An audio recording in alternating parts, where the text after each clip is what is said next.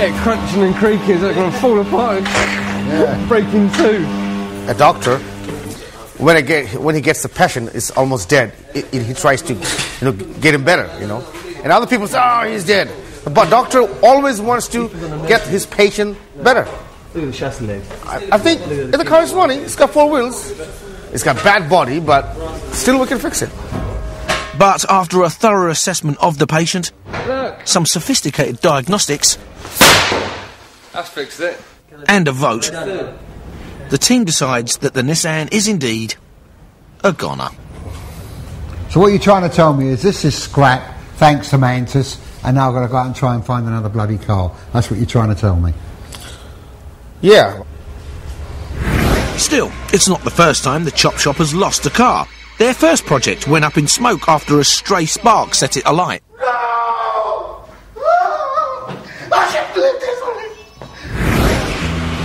But this latest loss means it's going to be even harder for Bernie to keep the numbers on the right side of the balance book. One thing that breaks my heart, and that's having money and just chucking it away. I work too bloody hard for what I've got. I want to support me, the boys, my family, and that money's bloody well wasted. Just bang it away, just chuck it out the bloody window. Need something I've got to get on with. I need to buy something cheap, do it up, and earn some more bloody money again. So I'm cut the losses that I've done on this bloody car. Well, at least one thing, at least I can trust the boys back in the workshop. You know, at least they're not going to be pissing around, they'll be getting on with bloody something. How wrong could any one man be? Unable to hold in their frustration with the delayed start of the project any longer, the Chop Shop boys are working on their own interpretation of a Toffs off-roader. Lord Leepu, meanwhile, has got to come up with some bold off-road design ideas. He's preparing for a trip back to Great Fulford to get an insight into the ways of the country folk. Uh, hello. All he needs is a rod to go with his new tweeds, and Bangladesh's answer to Mr. Toad can finally join the country set. It's all very simple. It's a rhythm. Yeah, you should know about rhythm. There's a form of contraception I call the rhythm method that I never quite understood. I'm getting quite used to this life. Does it inspire the designer in you? Yeah. That's what it's meant to do. Yeah. Actually, fly fishing does do that because it can get your brain suddenly thinking Yeah, yeah. and working. Meanwhile, back at the chop shop, the alternative Toffs off-roader continues to take shape.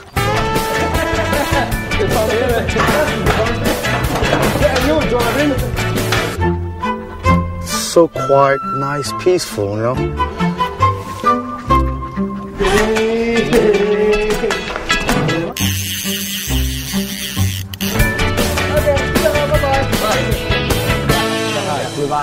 His fishing lesson over, has all that country air helped Leepu come up with some ideas for a country off-roader?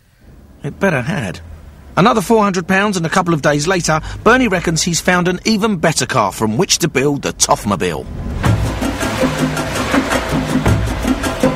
Welcome to our new car. Where did you get the get the zebra from? Africa. Listen, I've got you a nice big car, loads of metal on it. We're going to build it for hunting and fishing. However, there's still the question of what to do with the old Nissan.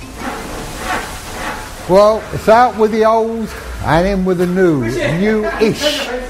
Now I've got a nice big Volvo estate. We're going to do something with that. And I'll tell you something, if they destroy that one, heads will roll, believe me. Hey, hey! What the fuck's going on here? It's Still banger racing, isn't it? This ain't banger racing anymore. It's a real shame, you know. It was a perfectly good car. I've seen it racing. It was fast. Mechanically, it was sound. It's a total wreck now. All I can see is my hard-earned bloody money going down the bloody road. Ah, gone, but not forgotten. Meanwhile, having lost a car, there's no time to waste on the new one. Come on, guys. Chop it! Strip it! The Volvo certainly looks the part, and it's the biggest car to hit the chop shop so far. Built by Vikings for Vikings. These things are built like bloody tanks. They're built to last. They just go on and on. It's like- we call them the mother-in-law kind of trade. They go on and on and on and on. But maybe it's too big to transform within three weeks. It's a huge car, and uh, it's gonna be it's gonna be real hard. Leepu is showing worrying signs of what Bernie would call creative constipation. Normally, when a car in front of him is being stripped down to its bare bones, he would be brimming with ideas and performing his mystical Kama Sutra dance around the car. It's all part of his design process. Not today, though. What's more, Leepu never puts his designs on paper, so the team is just as much in the dark about the Volvo's future as he is.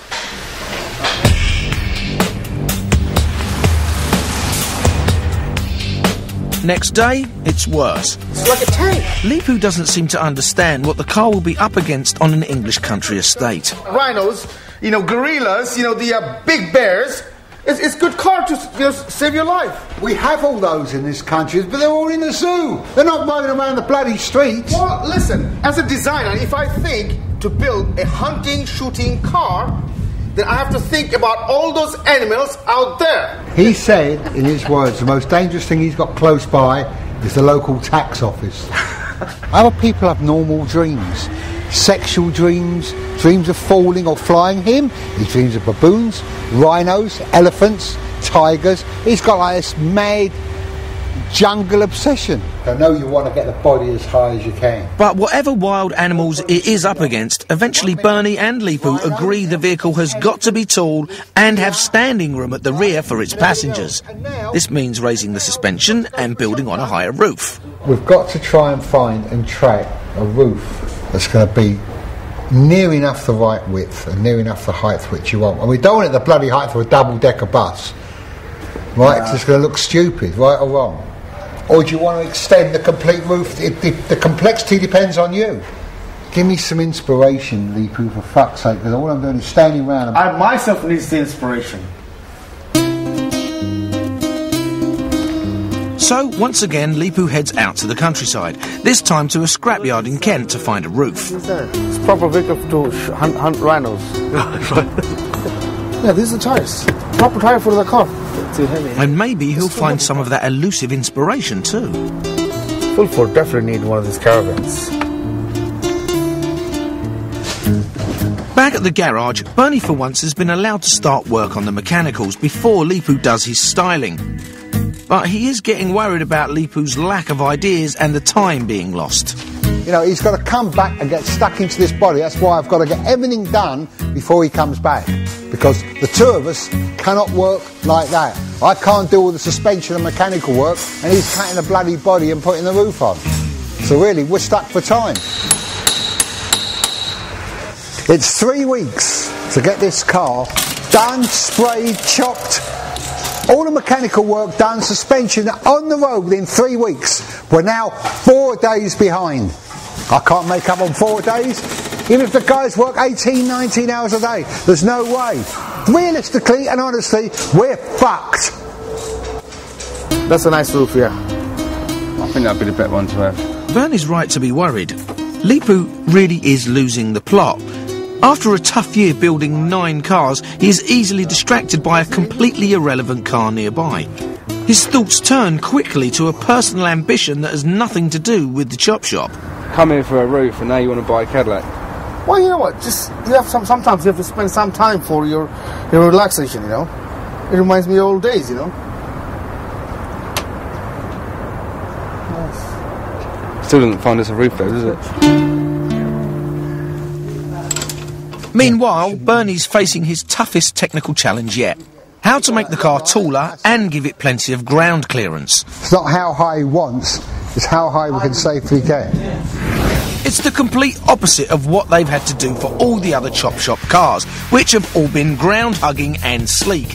So, how's he going to do it? The problem we've got is that these cars are so heavily built that to try and make the body higher and obviously push down more on the suspension, the steering, and the main chassis, it's going to be very, very difficult. The only way we can do it on this car is the main frame that the engine actually sits into with the gearbox is to lower the whole thing by a good four to five inches. By doing that, then the prop shaft is out of line, The brake pipes obviously are not going to fit because they're going to be stretched.